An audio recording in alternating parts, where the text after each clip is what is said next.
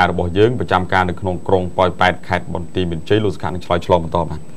លោកបន្ថននៅទីនោះជំរាបសួរលោកបន្ថន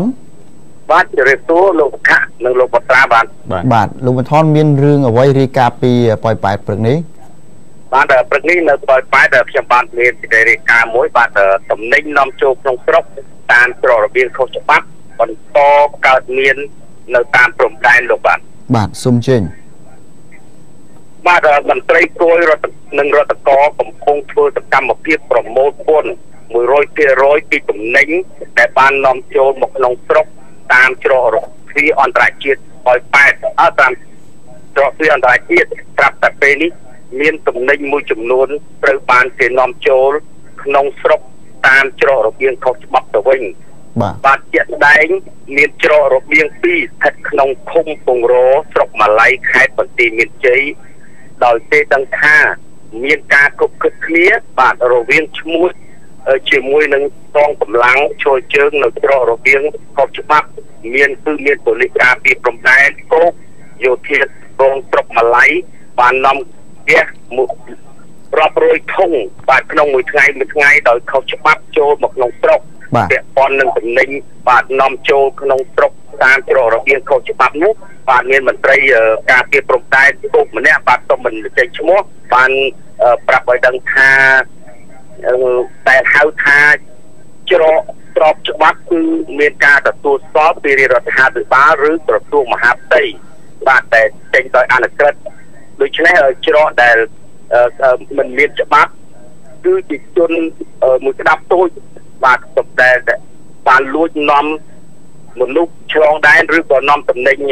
ឆ្លងកាត់ចូលមកក្នុងស្រុកនោះគឺពុំមែនជាស្រុកខុសច្បាប់ឡើយបាទបាទលោកប៊ុនថនខ្ញុំបញ្ហានេះលោកបាទ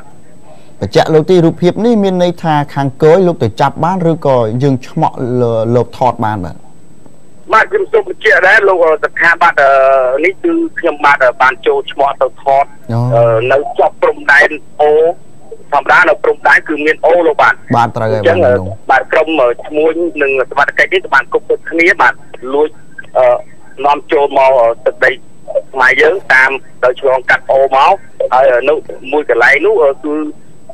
มันមានឃ្លាំងទេបាទមួយកន្លែងទៀតគឺខាងសមត្ថកិច្ចជាពិសេសគឺយោធាម្នាក់បាទបាទឈ្មោះលឹមយូវែងបាទនៅកងពលតូច51បាទបាន គេមានដីរបស់គេគឺគេបើច្រកនៅលើទឹកដីរបស់គេតែម្ដងបាទហើយគេបាននាំហ្គាសចូលរាប់រយធុងក្នុងមួយថ្ងៃថ្ងៃលោកបាទបាទលោកមុនថននៅពេលដែលបានឃើញព័ត៌មាននេះហើយលោកមានតាក់ទងទៅខាងអាជ្ញាធរដែលពាក់ព័ន្ធដើម្បីសូមការបំភ្លឺនិងចាត់ការចំពោះអ្វីដែលលោករាយការណ៍ថាមានអ្នកនេះមានអ្នកនោះជាអ្នកប្រព្រឹត្តបទល្មើសនឹងហើយឬនៅហើយគេឆ្លើយតបយ៉ាងម៉េចបាទសម្រាប់ លោកប្រធានទួយប្រចាំនៅច្រកទ្វារអន្តរជាតិប៉ោយប៉ែតលោកបាននិយាយប្រាប់ឲ្យដឹងផងដែរថាពាក់ព័ន្ធនឹងការតំណែងដែលពាក់ព័ន្ធនឹងការនាំចូលតំណែងអឺស្របច្បាប់នោះគឺពុំមែនជាតំណែងអើពុំបាននាំចូលនៅតាមច្រករបៀងខុសច្បាប់ទេគឺត្រូវតែចូលទៅតាមច្រកទ្វារអន្តរជាតិប៉ោយប៉ែតបាទតែជាច្រកមាន សមត្ថកិច្ចជំនាញដើម្បីត្រួតពិនិត្យរាល់តំណែងរួចហើយនាំមានការបងពន្ធចូលរដ្ឋបាទប៉ុន្តែលោកក៏បានបញ្ជាក់ផងដែរថាយ៉ាងនេះមន្ត្រីគួរចល័តគេបានបងគេបានចុះបញ្ជីនឹងនឹងធ្វើការបងពន្ធផងដែរពាក់ព័ន្ធនឹងនេះប៉ុន្តែខ្ញុំបានបានសួរទៅលោកពាក់ព័ន្ធនឹងហេតុអ្វីបានចាំបាច់នាំហ្គាសនៅតាមច្រករបៀងខុសច្បាប់បែបនេះលោកបានបញ្ជាក់ថា មិនមែនជាបទបញ្ជាឲ្យក្រុមមួយស្ដាប់តូចនោះនាំសម្ដែងខុសច្បាប់នៅតាមច្រករបៀងនោះទេលោកបាទបាទអរគុណលោកប៊ុនថនបាទអរគុណបាទលោកជម្រាបលាលោកបាទបាទជម្រាបលាលោកបាទឥឡូវនេះបន្តជួបភ្នាក់ងារបន្តទៀតទៅខាងលោកវិចិត្របាទចាំការខែឧត្តមបញ្ជីបាទសូមជើញបាទជម្រាបសួរលោកវិចិត្រលោកវិចិត្រ បាទបាទបាទហើយព្រឹកនេះខាអាកាសធាតុនៅក្នុងខេត្តឧត្តរមានជ័យយ៉ាងម៉េចដែរទៅបាទត្រជាក់ឬក៏យ៉ាងណាដែរទៅបាទបាទក្នុងខេត្តឧត្តរមានជ័យយើង បាទត្រជាក់ណាបងក្នុងព្រឹកនេះចាប់ពីអឺ3 4ថ្ងៃមុនរហូតដល់មកឡើងគឺត្រជាក់ខ្លាំងត្រជាក់ខ្លាំងបងបាទឥឡូវយើងងាកពីរឿងរ៉ាវរបស់យើងវិញមានអ្វីជម្រាបជូនដល់ទូរទស្សនិកជនរបស់យើងដែរព្រឹកនេះសូមអញ្ជើញបាទព្រឹកនេះខ្ញុំបាទមាន សេចក្តីរាយការណ៍មួយតាក់ទងជាមួយនឹងទាហានឈុតខ្មៅថៃខាត់រថយន្តដឹកទំនិញចេញចូលតាមច្រកទ្វារអន្តរជាតិជាំស្រងាំនៃខេត្តឧត្តរមានជ័យអស់រយៈពេល2ម៉ោងនិងគម្រាមបិទច្រកនេះទាំងស្រុងបើសិនជាកម្ពុជាមិនវាកំទេចសាបខាងមុខប៉ុស្តិ៍ត្រួតពិនិត្យចម្រុះនោះទេបាទអូអញ្ចឹងវិញបាទសូមអញ្ជើញបាទយ៉ាងម៉េចទៅ បាទទាហានឈុតខ្មៅថៃជាង20នាក់បានធ្វើសកម្មភាពបិទច្រកជាំស្រងាំនៃខេត្តឧត្តរមានជ័យអស់រយៈពេល2ម៉ោងកាលពីព្រឹកថ្ងៃទី15មករាឆ្នាំ2014ដោយឈោខាត់រថយន្តដឹកទំនិញចេញចូលគ្រប់ប្រភេទនៅមុខស្នាក់ការប៉ុស្តិ៍អន្តរប្រវេសន៍របស់ខ្លួននឹងធ្វើឲ្យមានការភ្ញាក់ផ្អើលដល់ប្រជាពលរដ្ឋទាំងពីរប្រទេសជាពិសេសភ្ញៀវជាតិនិងភ្ញៀវអន្តរជាតិដែលឆ្លងកាត់តាមច្រកអន្តរជាតិនោះ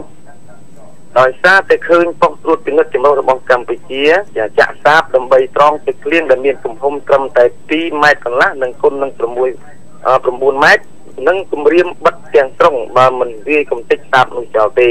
បាទក៏ប៉ុន្តែអ្វីដែលគួរឲ្យចាប់អារម្មណ៍នោះគឺមន្ត្រីយោធាទំនាក់ទំនងព្រំដែនរបស់ប្រទេសថៃបានប្រាប់កម្ពុជាថាទីហ៊ានឈុតខ្មៅរបស់ខ្លួនយល់ព្រមដកកម្លាំងចេញទៅវិញលុះ ត្រាតែមន្ត្រីកម្មគងត្រូលកម្ពុជាវាកំទេចសាបនៅមុខស្នាក់ការប៉ុស្តិ៍ត្រួតពិនិត្យចម្រុះរបស់កម្ពុជាសកម្មភាពតាមតឹងនេះបានកើតឡើងបាទនឹងបិទច្រកចាប់តាំងពីម៉ោង7រហូតដល់ម៉ោង9ព្រឹកទើបទាហានឈុតខ្មៅថៃបើកឲ្យដំណើរការឡើងវិញក៏ប៉ុន្តែទាហានឈុតខ្មៅថៃនោះមិនព្រមដកកម្លាំងរបស់ខ្លួនចេញទាំងស្រុងនោះទេបាទដោយឡែកភាគីខាងកម្ពុជាបានឲ្យដឹងថាចំពោះបញ្ហាដែលយោធាឈុតខ្មៅ ថៃបញ្ជាឲ្យវាកំទេចសាបបេតុងនៅមុខស្នាក់ការប៉ុស្តិ៍ត្រួតពិនិត្យចម្រុះនោះវាជារឿងញុះញង់បង្កទំនាស់តែប៉ុណ្ណោះហើយស្នាក់ការរបស់ប៉ុស្តិ៍កម្ពុជាគឺនៅលើទឹកដីកម្ពុជាដូច្នេះថៃគ្មានសិទ្ធិមកបញ្ជាឲ្យកម្ពុជាវាកំទេចនោះទេហើយច្រកអន្តរជាតិនេះភាគីកម្ពុជាបើកគ្រប់ពេលវេលារកការនាំចេញចូលនៅផលិតផលរបស់ប្រជាពលរដ្ឋទាំងពីរប្រទេសផងដែរបាទបាទ មានអ្វីបន្ថែមបាទបាទខ្ញុំបាទអឺវិចិត្រនារីការពិសេសដល់មានជ័យបាទបាទសូមអរគុណសូមជម្រាបលាលោកពិចិត្រដោយសារតែមានករណីយើងខាងសងសងនៅខាងភាគីយើងទេគេតម្រូវឲ្យយើងវាយប្របែកសាបរបស់យើងវិញមិនដឹងថាម៉េចទេខាងមន្ត្រីជំនាញទុកឲ្យលោកដោះស្រាយបន្តទៅទៀតបាទពេលនេះសូមអនុញ្ញាតសម្រាប់ឲ្យផ្លែសិនបន្តិចទៀតភ្ជាប់ទូរស័ព្ទទៅកាន់ភ្នាក់ងារដទៃទៀតដើម្បីបញ្ចប់កម្មវិធីបាទសូមសម្រាប់បន្តិច